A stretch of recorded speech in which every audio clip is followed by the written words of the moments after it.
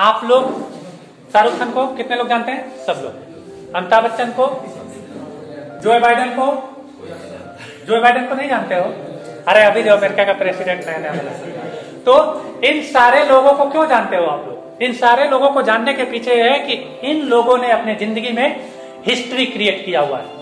ये उस पोजीशन पे, उस ऊंचाई पे, उस टॉप पे है जो इनके फ़ील्ड का हाईएस्ट है टॉप है। है ना? तभी तो वो उस जगह पे है। तो सिंपल सी बात है, अगर ये उस फ़ील्ड पे टॉप पे है, हाईएस्ट पे है तो कुछ ना कुछ बेटर किए होंगे तभी है। कुछ ना कुछ अच्छा किए होंगे तभी है।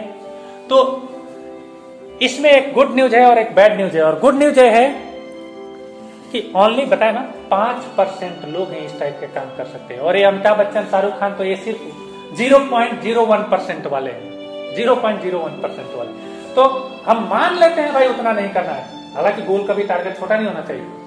लेकिन पाँच परसेंट में तो जा सकते हैं ना। पाँच परसेंट में तो कर सकते हैं ना। ठीक है?